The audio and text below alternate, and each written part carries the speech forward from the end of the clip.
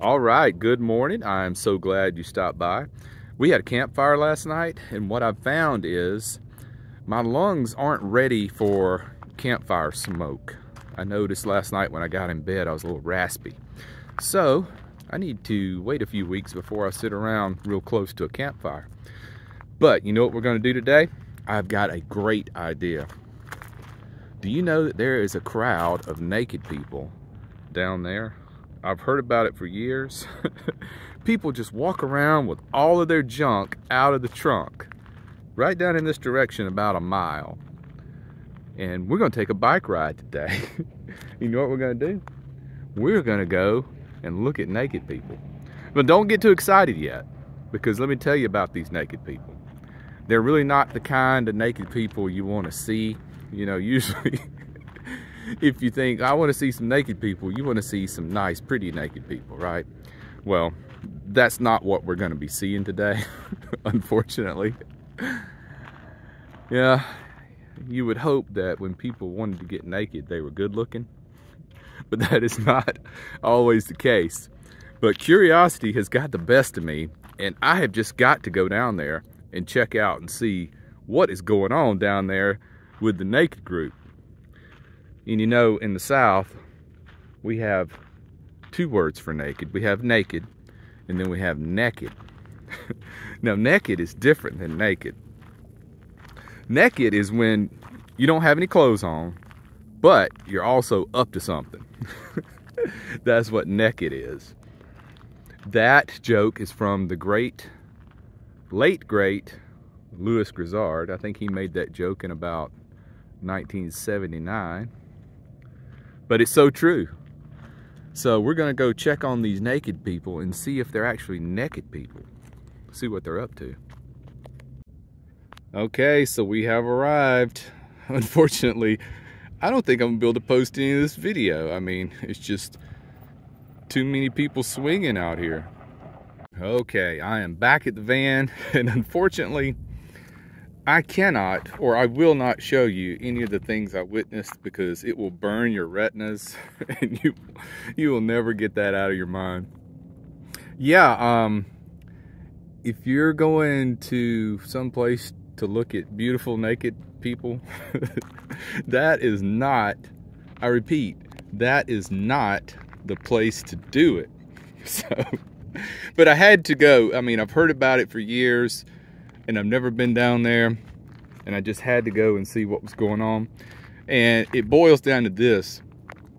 If you're into like old naked men, I mean, you're going to love that place. you uh, yeah, you should go. But if that's not your thing, then I would recommend avoiding it at all costs. So Okay, let's move on to more productive things. So this is Yellow Wolf's rig. She has patterned this after me. She got the same uh, swing out arm and the same cargo rack. And this is the Ford Transit. And she's had to put a riser bracket coming out of the receiver hitch to get it up high enough off the ground because these transits are low on the back.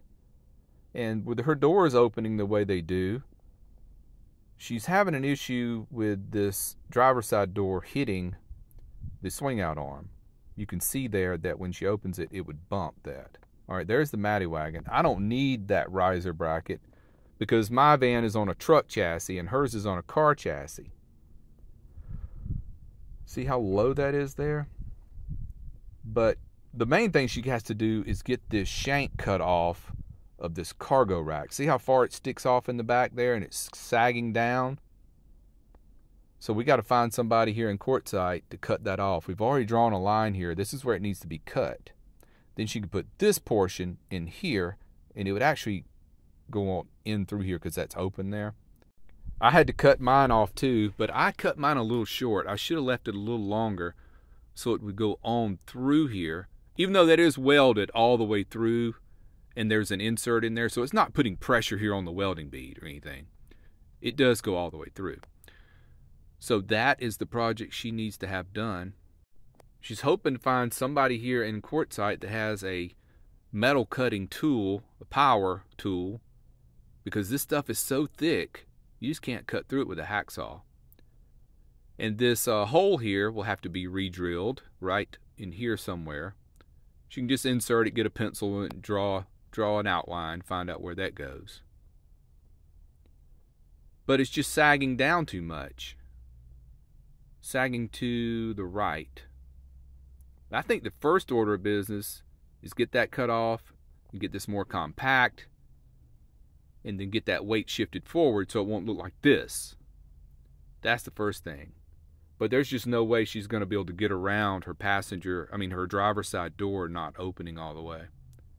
It's just no way because she has to have that riser bracket on there.